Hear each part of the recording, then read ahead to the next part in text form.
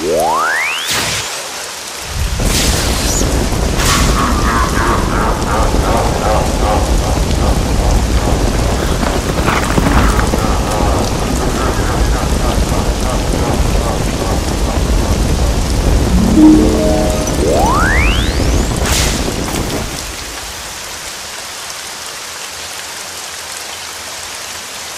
Okay.